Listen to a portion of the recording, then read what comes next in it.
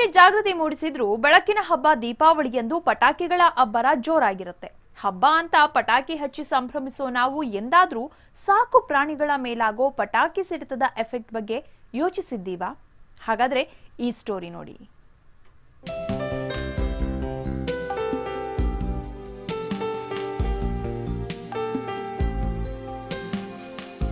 ಕತ್ತಲೆಯನ್ನ ಹೋಗಲಾಡಿಸಿ, ಮನೆ ಹಾಗೂ ಮನದ ಕತ್ತಲೆಯನ್ನ ನಿವಾರಿಸಿ ಬೆಳಕನ್ನುಂಟು ಮಾಡುವ ಹಬ್ಬವೇ ದೀಪಾವಳಿ.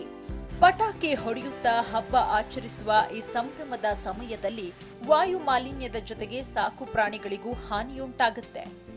ದೀಪಾವಳಿ ಹಬ್ಬ ಬಂದ್ಬಿಟ್ಟು ದೀಪದ ಹಬ್ಬ. ಆ್ಯಕ್ಚುಲಿ ಪಟಾಕಿಗಳೆಲ್ಲ ಹೊಡೆದಾಗ ಏನಾಗುತ್ತೆ, ನಮ್ಮ ಪೆಟ್ಸ್ ಆಗಿಲ್ಲ ಅವು ಪ್ರಾಣ ಅದೊಂದು ಜೀವಗಳು.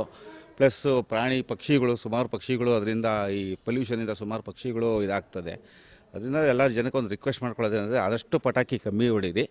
ದೀಪ ಹಚ್ಚಿ ದೀಪಾವಳಿನ ಸೆಲೆಬ್ರೇಟ್ ಮಾಡೋಣ ಹೀಗಾಗಿ ಶ್ವಾನವನ್ನ ಮನೆಯಲ್ಲಿ ಸಾಕುವವರು ಪಟಾಕಿ ಹಚ್ಚುವ ಸಮಯದಲ್ಲಿ ಶ್ವಾನಕ್ಕೆ ಹೊಟ್ಟೆ ತುಂಬಾ ತಿನ್ನಲು ಕೊಡಬೇಕು.